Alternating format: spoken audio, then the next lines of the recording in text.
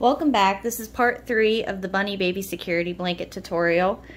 So this video is going to be assembly. So you should have the blanket made attached to the head, both ears made and both arms made. So let's go ahead and get started. The first thing that we're going to attach is the ears. And the ears are going to go in between rows five and six. So if you just start at the top and you count down one, two, three, four, five, you're going to attach them in this space between rows five and six.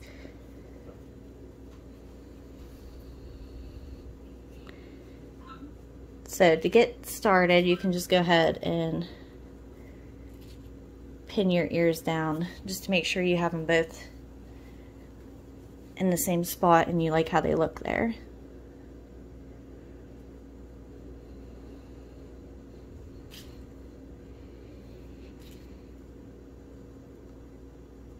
So just take a second and look at your ears. Make sure they line up. Make sure they're even with the front of your blanket. So I'm going to pause this and get mine lined up and then we'll come back and attach these. Okay, so I'm satisfied with my, where mine are. So I'm to go ahead and attach one.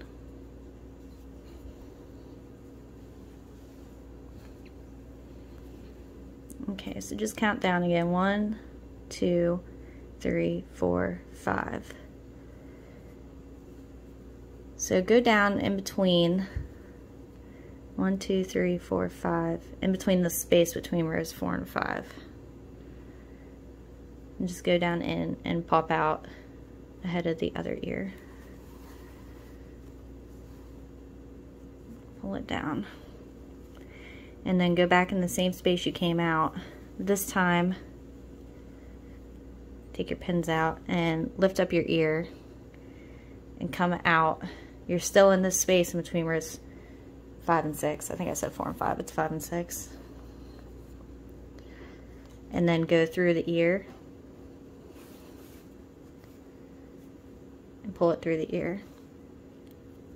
Now go into the next stitch of the ear and make sure you look at the bottom and make sure it goes through the bottom too and then go down into the next space, still in between rows 5 and 6. And just pop out anywhere in the head. And then go through the same hole you popped out of. Go back under the ear. Still in that space between rows 5 and 6. And go into the next stitch of the ear. Make sure you come out the front too and then go back into the next stitch of the ear making sure you're going through the bottom stitches as well and then go back into in between rows 5 and 6 and pull out anywhere. So that just attached the ear to the head. Now to make it look a little bit more natural, go back in between rows 5 and 6 and then go back through both the front and the back loops of the ear. And now we're just going to go over top of the ear, but you're going to go down in between rows 5 and 6 still. And then pull that. Sorry if it's hard to see being white yarn. And then you're just going to repeat. You're going to go back in between rows 5 and 6. You're going to go through both the back and front loops of the ear. And then go over the ear down into the head through row 5 and 6, in between row 5 and 6. Back through the same hole to row 5 and 6 and going through the top again and going over the ears and down.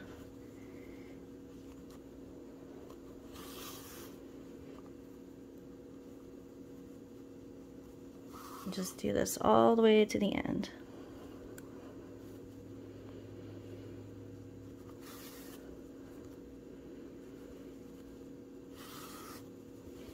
then just look at your ear. It makes it look a little bit more like it's attached naturally instead of separate. And then just go back to the bottom of the ear and just find a stitch to knot off on. And then you can take the yarn tail down through the bottom of the head.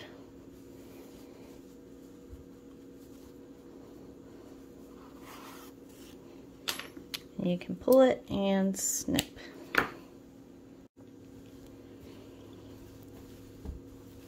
And now you have one of your ears attached.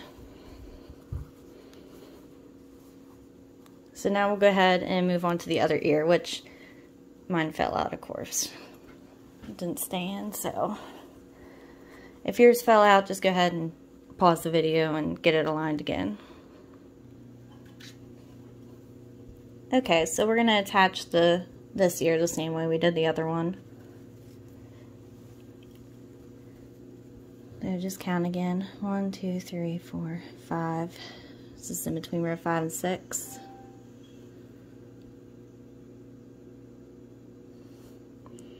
So just go down. Can pop out somewhere else in the head. And then just go backwards. Pop out in between row five and six.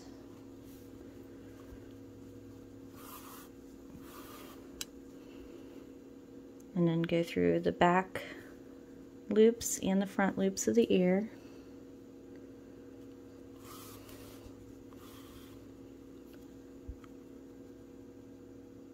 And then go over one stitch going through the front and the back loops of the ear. Back down into the in-between rows 5 and 6. And just over one.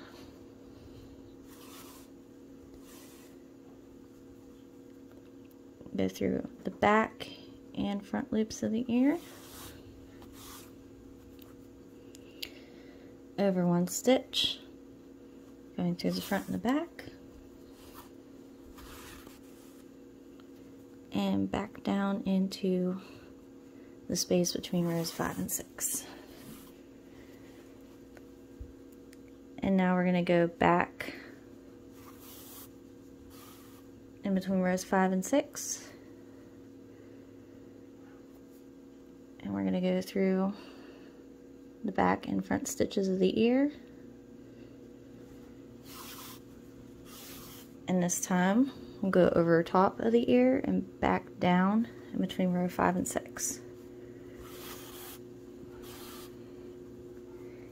And then just continue this all the way around.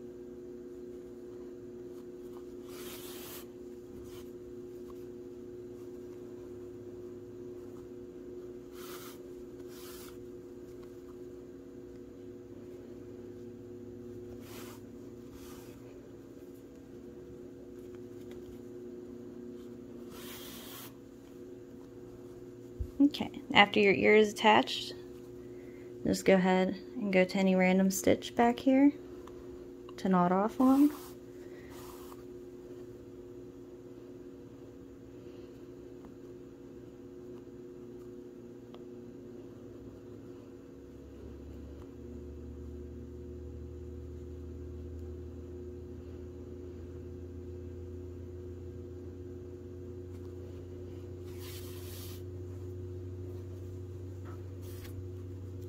Go back in through the head.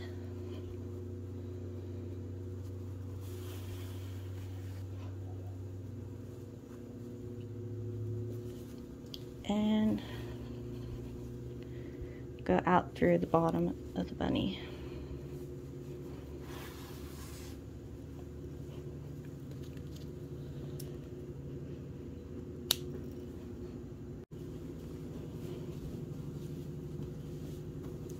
Okay, so now you get your ears attached. Next we'll be putting the face on. So you can kind of shape the head back in place and then decide what side you want the face to be on. Which I feel like this looks more like the back here, so we're gonna go with this side. So let's first attach the nose. Okay, so using your pink yarn, we're going to be working in between rows 10 and 11. So if you count down to row 10 and row 11, you're going to be working in the space in between them.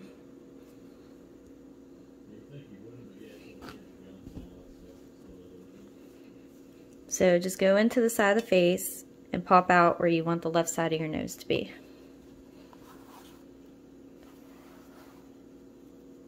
Pull through and leave a little bit of yarn. And then you're going to go over three spaces and go back into the head. And kind of tug a little bit and that'll be your nose. So go back in the same hole you just came out of and go more to the middle of the head and then go back up where you came out for your nose. And then go back in and pull. And this is so you won't see any pink in the corners. It's coming from this way and this way. So just go ahead and keep doing that.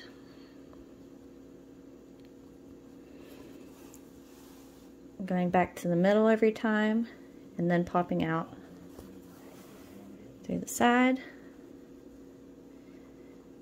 And then I just take the yarn and kind of place it over top of the other strands. And then back down.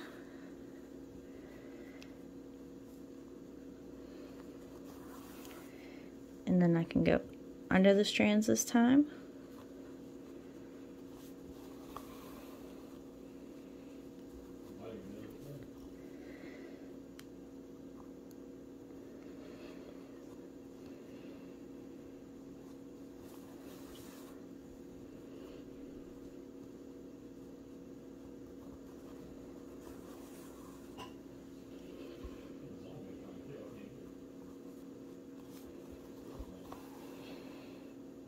Okay.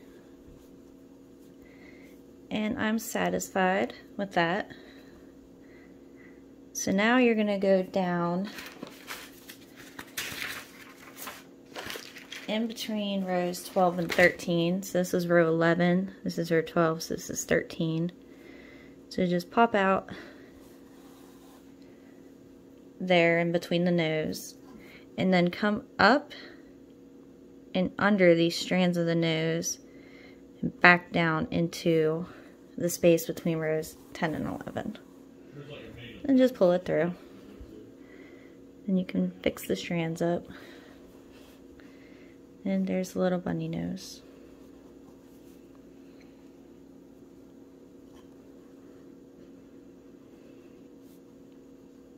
So now you can take this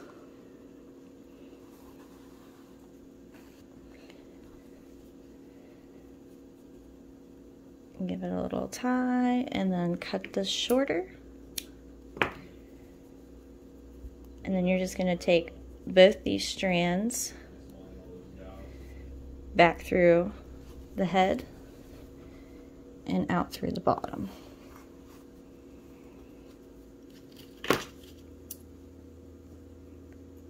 And then cut it. Okay, let's attach the eye now. So go ahead and get your black crochet thread and go into the side of the face.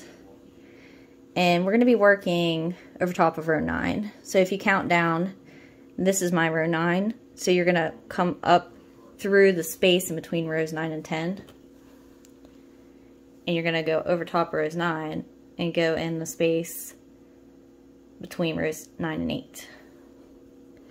So after you do that, just go ahead and go up one space.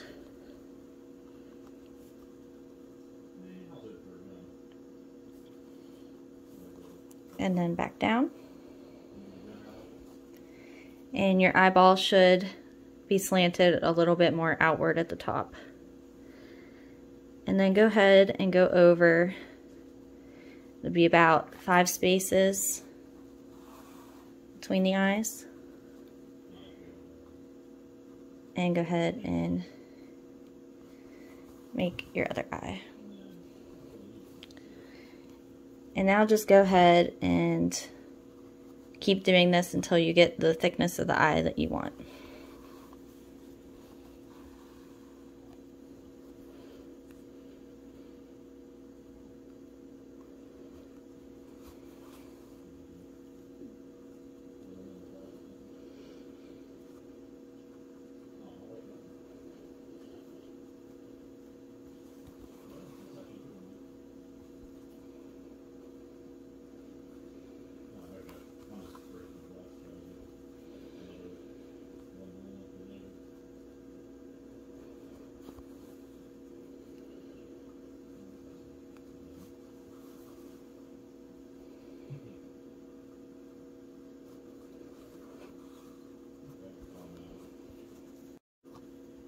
Okay, so now that I'm satisfied with the thickness of my eyes, you're going to go over one space from the top corner of your eye and then just go down into the eye and do it on the other side.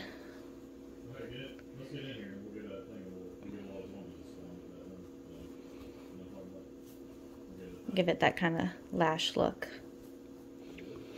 And then just go ahead and tie the strands of your eye together and then we'll take them down through the bottom too.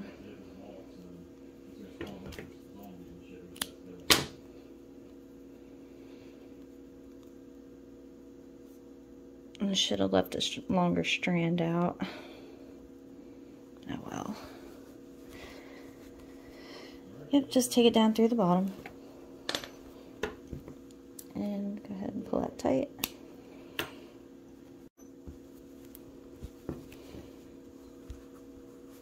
Okay, so now you have an eyes, nose, and your ears attached.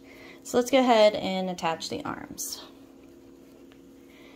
So I like my arms to be kind of in the middle, sometimes facing a little bit more forward, but it's wherever you want them, if you want them straight out or if you want them more in the front. It's however you want to do it. But I do not pin the arms when I do it. When I attach them, I just kind of freehand it because it's kind of hard to pin them anyways but if you want to pin them you can. But how I attach them is I place them where I want them to be and then I kind of hold them to the head and tilt the head up and insert into the head. And this is about row 16 17 down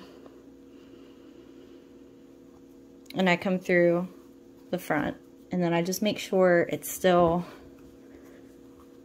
where I would want it to be, which it is.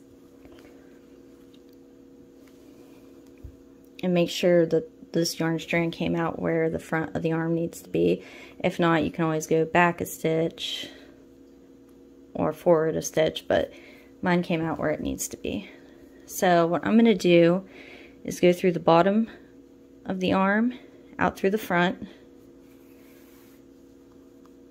And then I'm going to go right back in that same hole that yarn came out of. And I'm going to go over one stitch.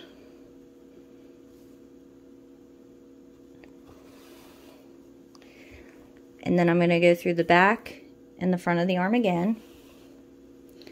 And then I'm going to go into the bunny and I'm going to go over one stitch and then through the back and the front of the arm again. Into the bunny's head and over one stitch.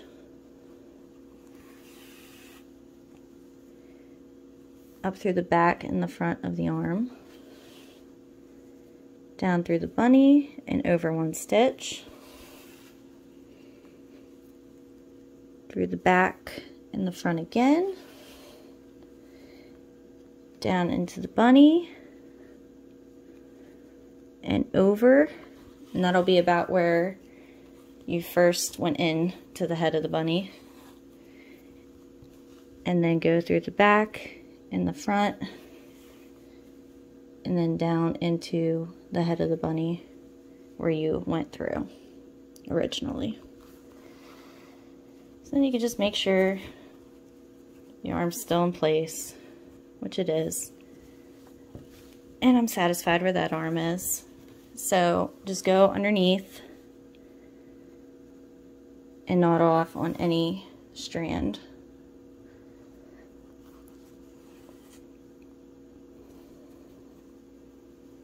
And then go back through.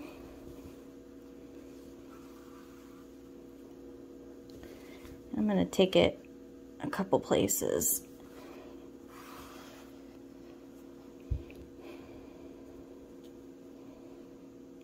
Go back through the bottom. Then give it a little tug, snip it.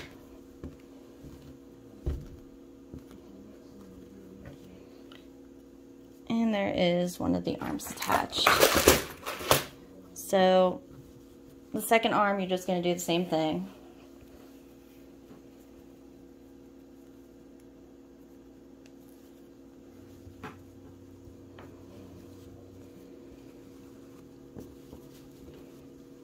Place it, kind of eyeball it, make sure it's where you want it to be.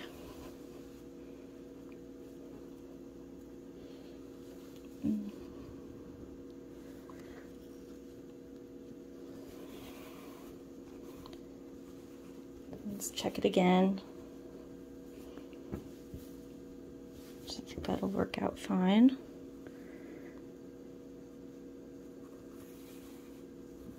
Attach it and I'm going to check it again.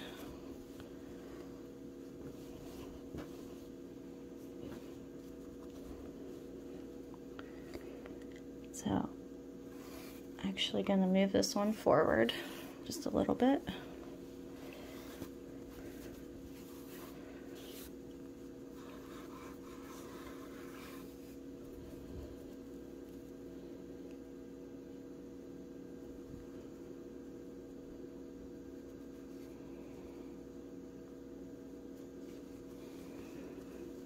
You might have to play around with it a couple times.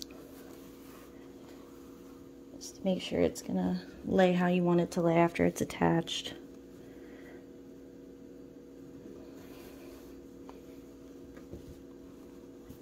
Just check it before you fully attach it. Just that works for me.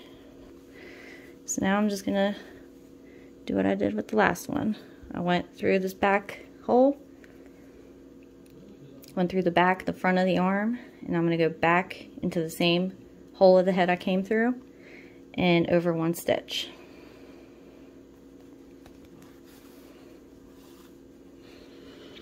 And then through the back and the front of the arm. And through the head and over one stitch.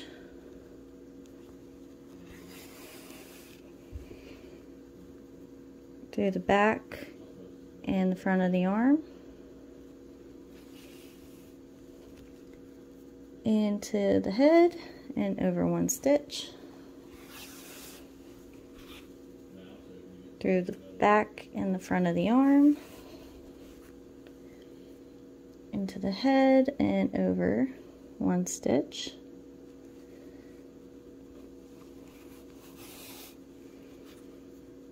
through the back and the front, through the head and over one stitch through the back and the front of the arm and back through the head where you originally came through. And then pull. And then just go ahead and knot off on any bottom stitch.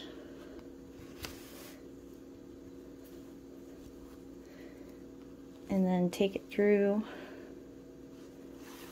the back of the head a couple places.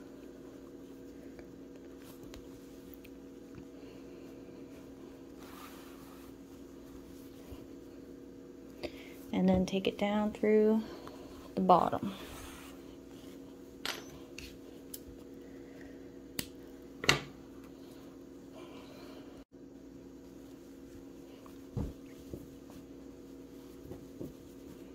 And now your bunny is complete. So I hope you really enjoyed this tutorial. I hope your bunny turns out beautiful. If you haven't already, check out some of my playlists to see other tutorials and subscribe to my page like this video and share it. Um, also, I have a Facebook group if you want to share pictures of some of the loveys that you've made using my pattern and maybe get ideas off of other people. So thank you for watching. Goodbye.